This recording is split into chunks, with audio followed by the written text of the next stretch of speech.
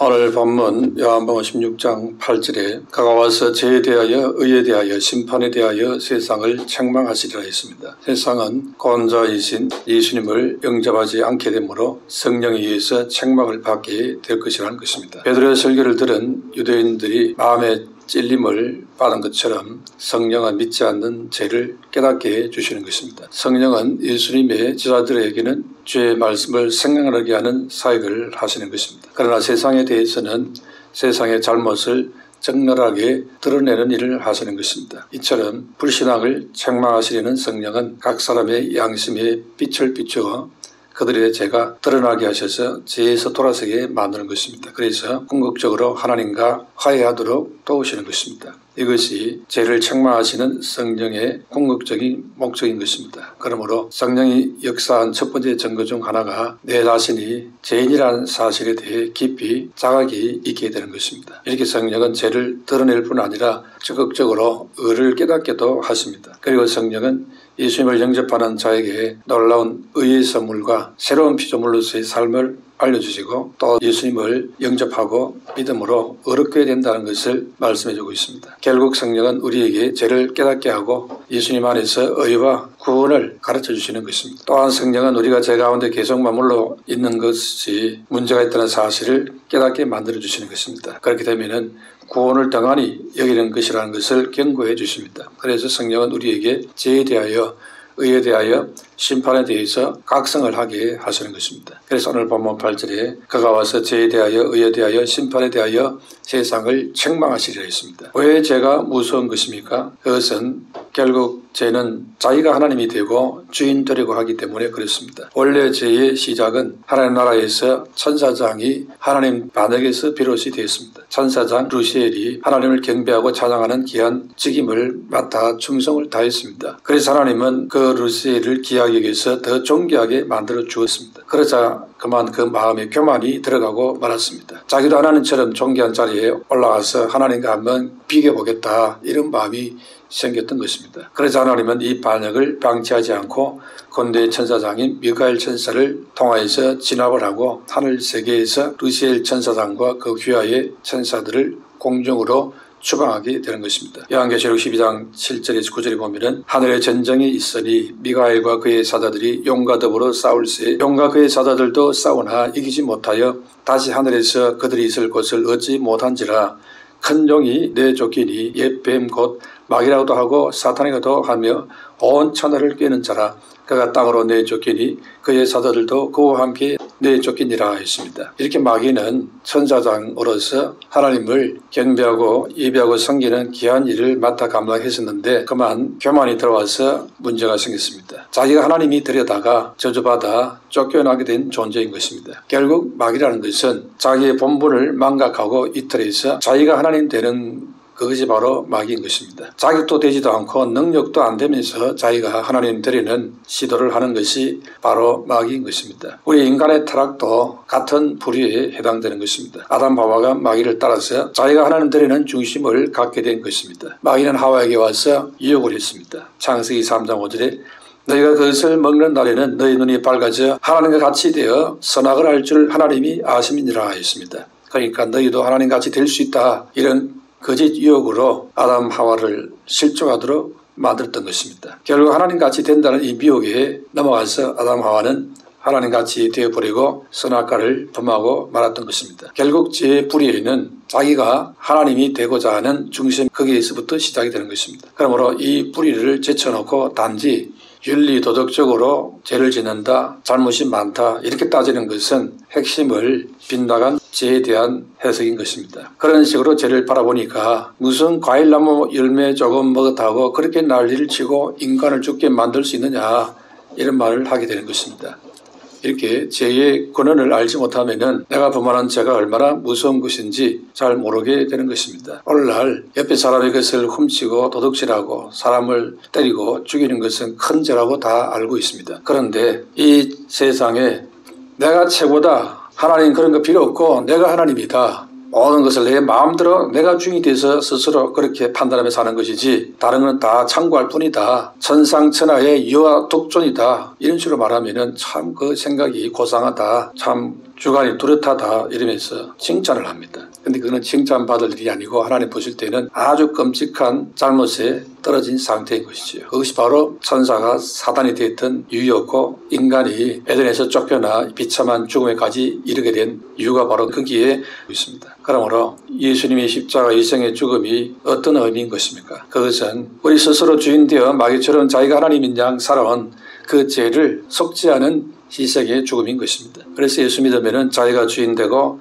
자기가 하나님처럼 되고자 했던 그 마음대로 살아왔던 이 사람을 예수님과 함께 십자가에 못 박혀 죽게 되는 것입니다. 그리고는 이제 내가 주인이 아니라 예수님이 나의 주인이 되는 심령으로 새롭게 탄생하게 되는 것입니다. 그리고 예수 믿고 구원받은 이후의 삶은 예수님을 주와 하나님으로 모시고 살아가게 되는 것입니다. 만약 우리가 이 변화된 새 사람의 삶을 살지 못하게 된다면 성령은 수시로 우리에게 감동 감화를 통해 책망 으로 깨닫게 해주신다는 것입니다. 그래서 첫 번째 성령은 죄에 대하여 우리를 책망한 일을 하신다 했습니다. 9절에 죄에 대하여 하면 그들이 나를 믿지 아니함이요 했습니다. 성령께서는 죄에 대하여 책망을 하시되 단순히 주 예수 그리스도를 믿지 않는 것이 죄라고 말씀하고 있는 것입니다. 믿지 않으면 이미 유죄의 선거가 된 상태라는 것입니다. 요한복음 3장 36절에 아들을 믿는 자는 영생을 가졌고 그 아들을 믿지 않는 자는 생명을 보지 못하고 오히려 하나님의 진노가 그 사람 위에 머물러 있느니라 했습니다. 이렇게 예수님을 믿지 않고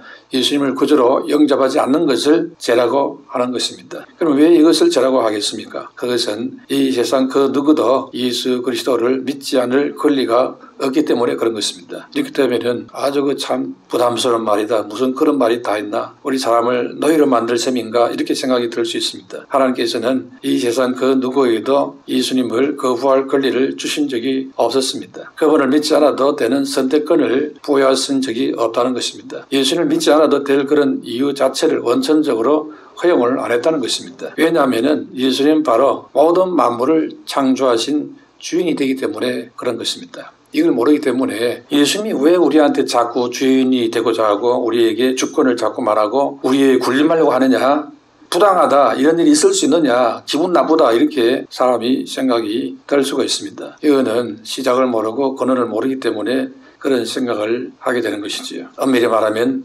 나의 집도 직장도 가족도 내 생명까지도 모두 예수님이 주인이 되시는 것입니다. 그렇다면 우리가 무슨 권리로 내게 생명 주고 모든 걸 다 주신 그분을 거부할 수 있겠습니까? 아무도 거부할 권리가 주어져 있지 않는 것입니다. 그래서 무엇이 죄라고 하고 있습니까? 예수님 말씀하시기를 나를 믿지 않은 것이 죄라 이렇게 말하고 있지요. 죄라는 헬라어로 하말티아라는 말입니다. 그것은 관역에서 빗나갔다는 뜻입니다. 아담 하와가 여호와 하나님에 의해서 지음을 받아서 에덴 동산 안에 들어와 살도록 했습니다. 그리고는 하나님은 이들에게 선악과 열매를 먹지 말라고 한계를 정해 주었습니다. 그런데 이들은 그들이 지음 받은 그 창조주 하나님께서 주신 그 말씀을 가볍게 여기고 범하고 말지요.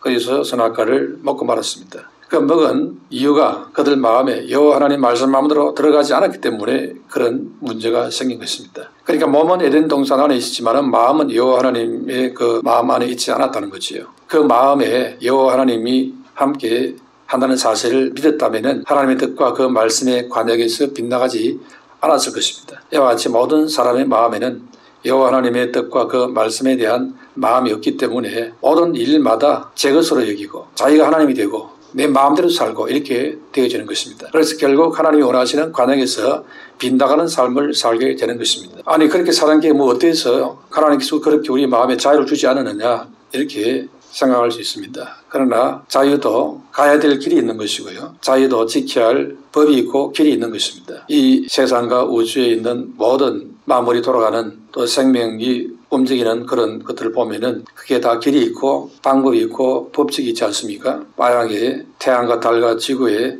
가는 길을 왜 이 길로만 꼭 가야 되느냐 하면서 지구가 만약에 딴 길로 빗나가 버리면은 그때부터 지구는 파괴되고 모두가 다 짬이라고 말겠지요. 또 지구가 태양으로 더 가까이 가야 되겠다고 태양 가까이 조금만 더 다가가 버리면 지구는 완전히 다 불타서 다 죽게 될 것입니다. 조금만 멀어져도 다 얼어서 죽게 되겠지요. 그게 자유라고 하면서 내 마음대로 가까이 가고 내 마음대로 하고 싶은데 왜 자꾸 나를 괴롭히느냐 그냥 내버려 두라 내버려 두면 다 죽는 것이지요. 그걸 자유라고 말하지 않는 것입니다. 그는 방종이지요. 이렇게 우리 사람은 자기가 죽을 것인지도 모르고 자유다 이루고 있는 것입니다. 하나님께서는 살 길을 말씀해 주시고 생명의 길을 말을 해 주는데 인간은 내 마음대로 하겠다 이러면서 어거지를 쓰고 때를 쓰고 그리고는 파멸의 길로 들어간 것입니다. 이게 하나님의 말씀을 범하고 선악과를 범하고 제 가운데 떨어진 인간의 실상인 것입니다. 예수님께서 말씀을 통해서 천진 만물을 지으시고 사람을 만들 때도 예수님이 관여하시고 주인 되시는 그분이십니다. 그분께서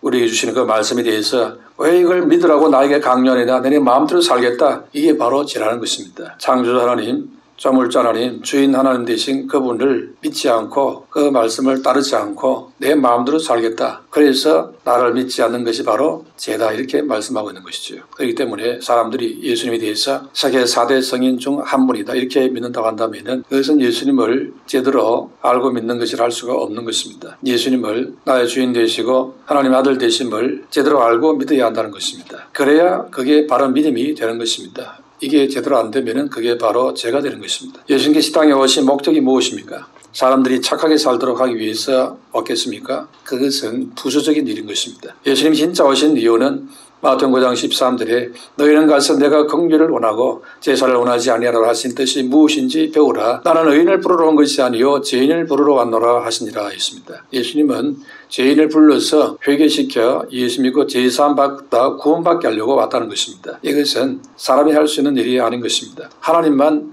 할 수 있는 일입니다. 그러니까 예수님을 하나님으로 믿어야 예수님을 제대로 믿는 것이 되는 것입니다. 예수님의 제자들도 처음에는 예수님을 선지자나 라피 정도로 믿었습니다. 예수님을 자신의 주인이나 하나님으로 믿지 않았던 것입니다. 그래서 예수님이 십자가 죽으시고 사흘 만에 다시 살아났을 때에 비로소 그들은 깜짝 놀라 그 앞에 무릎을 꿇고 나의 주 나의 하나님이라면서 고백을 하게 되지요. 단순히 선지자나 라피 같은 그런 수준이 아니라는 것을 비로소 그때서야 알았던 것입니다. 예수님 바로 하나님 아들 되심을 분명히 확인하고 고백하게 되었던 것입니다. 요한복음 20장 17절에서 29절에 보면은 또 모여게 이르시되 내 손가락을 이리 내밀어 내 손을 보고 내 손을 내밀어 내 옆구리에 넣어보라. 그리하여 믿음 없는 자가 되지 말고 믿는 자가 되라. 또마가 대답하여 이르되 나의 주님이시여 나의 하나님이시니다. 예수께서 이르시되 너는 나를 본거로 믿느냐? 보지 못하고 믿는 자들은 복되도다 하시니라 했습니다. 그러니까 예수님을 향해 나의 주님이여 나의 하나님이십니다. 이렇게 진정으로 고백하고 믿지 않는다면 그것은 잘못 믿는 것이라는 것입니다. 그게 바로 죄인 것입니다. 무슨 죄입니까?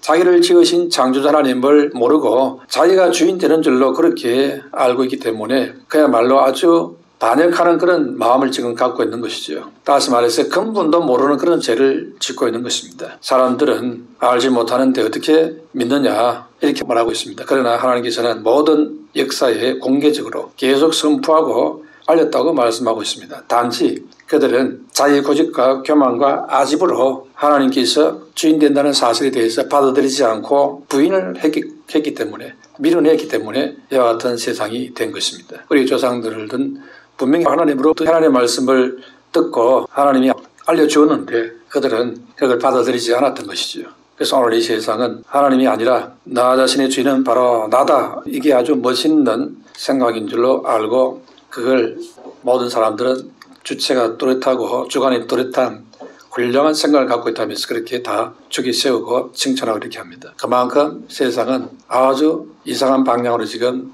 가 있다는 것을 보여주는 현실인 것입니다. 두 번째로 성령님은 우리에게 의에 대해서 책망하십니다. 10절에 의에 대하려 하면 내 아버지께로 가니 너희가 다시 나를 보지 못함이오 했습니다. 9절에서는 죄에 대하려 하면 그들이 나를 믿지 아니함이오 했지요. 예수님이 십자가 위에서 모든 인간의 정과 욕심을 사해 주시다는 것입니다. 그렇다면 나의 죄 사함을 받으려면 예수 믿고 그 믿음 안에 들어가야 됩니다. 부활하신 예수님이 내 안에 계심을 믿어야 제사함을 일어나게 되어집니다. 내 안에 예수님의 영이 계시고 안 계시고는 자기의 마음에 인정하느냐 인정하지 않느냐에 달려 있습니다. 그게 바로 자기의 믿음이지요. 우리가 혹시 원죄가 무엇이냐 자범죄가 무엇이냐 이걸 알게 됐다 해도 그 아는 것으로 제사함이 이루어지는 건 아닌 것입니다. 제사함을 이루려면 보혜사 성령을 통해서 그 죄에 대해서 책망을 받고 예수님을 알고 믿어서 땅의 것인 죄를 뿌리고 하늘의 것인 신령한 것으로 양심을 삼는 방향으로 나아가야 되는 것입니다. 그래서 보혜사 성령, 고칠리의 성령 오시면은 그에 대해서 책망하신다는 것입니다. 무엇이 죄인지 그것을 세상에서는 법률로 정합니다. 그런데 하나님은 하나님의 말씀으로 그걸 정합니다. 그 하나님의 말씀은 변하지 않는 것이기 때문에 진리의 말씀이라고 하는 것입니다. 그런데 성경은 예수님 바로 이 말씀이 육신이 되은 분이라고 말하고 있습니다. 그러니까 예수님이 곧 진리가 된다는 것입니다. 그래서 예수님은 요한모 14장 6절에 내가 길이요 진리요 생명이니 나를 함지 않지 않고는 아버지께로 올 자가 없느니라 했습니다. 이렇게 진정한 진리의 기준이 예수님이 된다는 것입니다. 그러나 세상에서는 진리의 기준이 다릅니다. 그렇기 때문에 제 기준도 그 문화나 그 세태에 따라서 달라지게 됩니다. 예를 들어 과거에는 남색하는 것이 죄로 간주되었는데 그러나 오늘날에는 그걸 보호해야 될 소수인권 대상으로 간주하고 있습니다. 보호가 너무 과해서 어린아이들에게도 좋은 그 신장 홍보를 하게 되고 장려하는 저는 이상한 세상이 지금 되어버렸습니다. 이러니 성경의 여인대로 말세에는 소돔 고모라 때보다 더 심하게 성적으로 물러난 세상이 되어버린 것입니다. 그런데 예수님이 진리 되심을 분명히 믿으려면 예수님을 죽으시고 부활하신 주가 되심을 믿어야 한다는 것입니다. 그래서 예수님의 말씀에 대해서는 세상 문화가 어떻고 세태가 어떻고 상관없이 말씀을 최고의 군위에 둘 수 있어야 하는 것입니다. 말씀 앞에 무릎을 꿇어야지 세상 사람들의 그런 상식에 무릎을 꿇고 하는 것은 바른 하나님에 대한 자세가 아니라는 것이지요. 그래서 우리는 진리 대신 예수님을 분명히 믿어야 하는 것입니다. 예수님을 분명히 믿으려면 예수님이 죽으시고 부활하신 주가 된다는 사실을 믿어야 하는 것입니다. 예수님 제자들도 예수님이 죽으시고 부활을 하신 것을 보고 체험하기 전까지는 예수님에 대해서 그저 훌륭한 선생님 정도로 간주했습니다. 그러나 예수님이 죽음을 이기고 부활한 것을 눈으로 똑똑히 확인하고 체험한 이후에는 예수님을 향해서 하나같이 나의 주, 나의 하나님이십니다. 이렇게 인정하고 그 앞에 무릎을 꿇었습니다. 굴복을 했습니다. 이렇게 됐을 때 비로소 예수님이 그들에게 참 진리가 될 수 있었던 것입니다. 예수님이 참 진리가 되심을 알고 인정했을 때에 그때부터 진정한 회개가 가능한 것입니다. 무엇이 죄인지 사람의 관점이 아니고 진리 대신 예수님의 관점으로 알고 회개해야 그게 진정한 회개가 되는 것입니다. 그러므로 진정한 회개와 용서가 그때부터 일어나게 됩니다. 이럴 때 비로소 사람의 의가 아니고 하나님의 의가 이루어지게 되는 것입니다. 바울은 하나님의 의와 사람의 의를 구분하면서 자기의 의는 율법을 통해서 이루어진다고 했습니다. 율법은 종교적인 신학을 말합니다. 즉 자기의 의가 담긴 의를 말하는 것입니다. 믿노라 하지만은 아직도 많은 사람들이 자기 의에서 완전히 벗어나지 못하고 있습니다. 결국 예수 이름 팔아서 자기 일을 세우는 것을 신앙생활인 줄로 그렇게 알고 있는 것이요. 참 믿음은 하나님 아버지로 인도하는 예수님께 초점이 맞춰져야 되는 것입니다. 그러나 아직도 상당수는 우리가 세상에서 더 잘 살 수 있게 해주시는 예수님에게 초점이 맞춰져 있는 것입니다.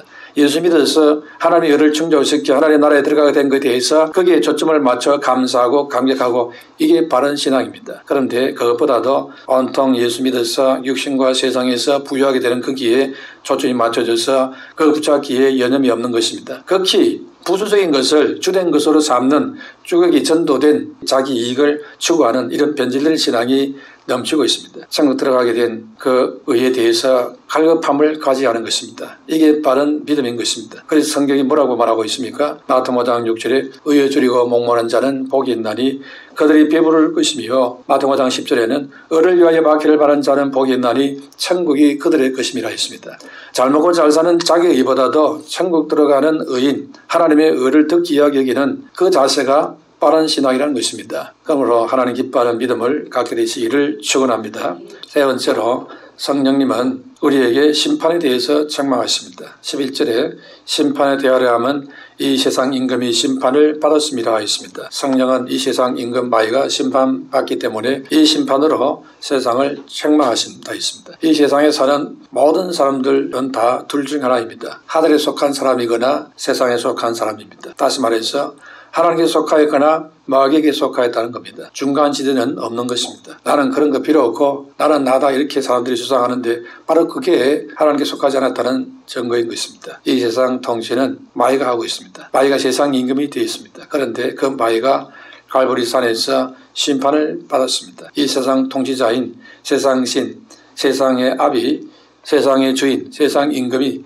갈보리 십자가에서 못 박힌 예수님에 의해서 그 머리가 깨지고 심판을 받지요. 주 예수 그리스도를 영접하지 않는 세상은 이 세상 임금 마귀와 함께 갈보리 산에서 이미 심판을 받은 것입니다. 현재 이 세상 마귀를 예수님께서 십자가에서 심판을 해버렸다는 것입니다. 골로스 2장 14절 15절에 우리를 거스르고 불리하게 하는 법조문으로 선 정서를 지우시고 제하여 버리사 십자가에 못 박으시고 통치자들과 권세들을 무력화하여 드러내어 구경거리로 삼으시고 십자가로 그들을 이기셨느니라 했습니다. 십자가를 통해서 마귀의 조종 세력들인 정자들과 권세들의 실체를 벗겨냈다는 것입니다. 십자가를 통해서 우리에게 그들의 실체를 보여주시고 그들을 공개적으로 드러내버렸다는 것입니다. 예수님의 십자가로 그들을 이겼기 때문에 이제 그 실체가 드러났다는 것이지요. 그러니 세상의 통치자들, 권세자들 이들이 무력화됐다고 했습니다. 그런 것에 벌벌 떨고 거기 눈치 보고 그렇게 할 필요가 없다는 것입니다. 이미 갈보리 십자가 예수님께서 그들을 다 발로 밟아 머리를 깨뜨렸다는 것입니다. 무엇이 진정한 승리자인지를 줄을 잘 서야 한다 이 말입니다. 십자를 통해서 우리에게 그들의 실체를 이미 보여주셨는데 아직도 그걸 깨닫지 못해서는 안 된다는 것이지요. 그러므로 요한복음 14장 16절에 그러나 위로자이신 성령을 아버지께서 내 이름으로 보내시리니 그가 너에게 모든 것을 가르치시며 또 내가 너에게 말한 모든 것을 기억나게 하시리라 했습니다. 11절에 이 세상 임금이 심판을 받았음이라 했습니다. 여기서 심판은 사망과 생명으로 갈라놓는 것을 말합니다. 그리고 구원은 사망의 자리에서 건져내는 것을 말합니다. 그러므로 세상 임금이 심판받았다는 것은 나 안에 있던 사망이 이제 사망을 잡고 있는 그 세상 임금의 존재를 내보냈다는 말이 되는 것입니다. 세상 임금이 심판을 받았기 때문에 나에게 와 있던 그 사망 권세가 떠나갔다는 것입니다. 그래서 이제 나에게 구원이 와서 내게 새 생명이 주어지고 그때부터 보혜사 성령의 인도가 시작이 됐다는 것입니다. 그러므로 구원이라는 것은 나 중심에서 하나님 중심으로 마귀 중심에서 예수님 중심으로 빠져나오는 것이 되는 것입니다. 첫 사람 아담은 원래 하나님의 말씀과 하나님의 뜻대로 살도록 에덴에서 선악과에 대한 말씀을 존중하며 살도록 했습니다. 그런데 아담이 마귀의 미혹에 빠짐으로 그때부터 인간은 하나님의 생각을 배제하고 내 생각으로 살게 됩니다. 그렇게 살다가 아담이 망하게 되지요. 사망에 처하게 됩니다. 그래서 아담의 후손인 우리 자신을 자세히 살펴보면은 거의 다 내 생각대로 살고 있습니다. 그래서 내 생각대로 안 된다고 많은 사람들이 화를 내고 분을 내고 괴로워하고 있습니다. 이것이 본래 지음 받은 인간의 모습은 아닌 것입니다. 그것은 변질된 인간의 모습인 것입니다. 변질되고 난 이후에는 하나님의 생각대로 산다는 것이 얼마나 어려운 것인지 모릅니다. 그래서 우리가 하나님의 말씀을 들어도 마음속에서 이게 아멘으로 수용되기보다도 자꾸 그냥 거부 반응이 속에서 나오는 것이죠. 세상 사람들은 하나님의 말씀을 아예 기쁨으로 듣고 아주 코웃음을 치는 그런 말씀이 되어버렸습니다. 그들이 아멘으로 수용되어야 될 그런 말씀인데 얼마나 변질이 많이 왔으면은 하나님의 말씀에 대해서 아주 우습게 생각하는 그런 세상이 되어버린 것이지요. 사울 왕은 하나님의 명령으로 아멜렉을 진멸하라는 명령을 받았습니다. 그런데 그 명령 앞에 자기 생각이 들어가게 됩니다. 하나님은 분명히 아멜렉의 짐승들도 모두 다 진멸하라 했는데 사울 왕은 좋은 짐승들을 남겨두었습니다. 왜 남겨두느냐 물어보니 핑계를 대기를 하나님께 제사드리기 위해서 그렇게 했다는 것입니다. 그러나 하나님은 그것이 잘못된 것이라고 사무엘 신을 통해서 아주 책망을 했습니다. 왜냐하니까 그것은 사울의 생각으로 드린 제사이지 하나님 뜻으로 드리는 제사가 아니었기 때문에 그랬습니다. 제사만 드리면 하나님 기뻐하시겠지 그게 아니었다는 것입니다. 자기 생각으로 드리는 제사는 하나님이 받지 않는다는 것입니다. 하나님 뜻대로 드리는 제사라야 하나님 받는다는 것입니다. 가인도 자기 생각으로 제사를 드렸습니다. 그렇기 때문에 하나님이 그 제사를 받지 않았습니다. 그러므로 우리는 이런 자기 생각 여기에서 벗어나야 하는 것입니다. 내 생각까지 하나님께 받쳐져야 하는 것입니다. 내 생각까지 하나님에게 온전히 받쳐서 불태워 들어진 그런 헤렘 제사가 되어야 하는 것입니다. 헤렘 제사라는 것은 태워서 받쳐진 제사로서 다시는 번복하고 돌아올 수 없는 그런 제사를 말합니다. 애굽에서 나와 강렬한 사람은 절대로 이제 애굽으로 돌아갈 수 없는 베렘 제사를 드리고 나온 자들인 것입니다. 그런데도 이들은 광야에서 계속 애굽을 생각하다가 결국에는 그 광야에서 다 쓰러져 죽고 말았습니다. 그게 이스라엘 백성들이었습니다. 그러므로 내 생각으로 살아가는 구습을 우리는 이미 십자가의 피로 우리가 헤렘 제사를 드렸다는 사실을 인정하고 그렇게 살아야 하는 것입니다. 내 안에 있었던 세상 임금이 심판받았다는 사실도 인정해야 됩니다. 그러므로 이제부터는 세상에서 좋은 일을 하고도 하나님께 인정받지 못하는 그런 사울 같은 사람이 되지 말아야 하는 것입니다. 다시 말해서 아무리 좋은 일을 해도 내 생각대로 하면은 그것은 하나님의 인정도 받지도 못하고 인도를 받지도 못하게 될 수 있습니다. 오직 하나님의 생각과 하나님 대신 진리의 말씀을 따라서 믿음 생활을 해야 하는 것입니다. 그래야 하나님께 인정을 받고 축복을 받게 되는 것입니다. 그러므로 하나님의 생각과 하나님의 뜻인 진리의 말씀을 따라서 믿음 생활을 하고 하나님께 인정받는 축복의 사람으로 살게 되시기를 축원합니다.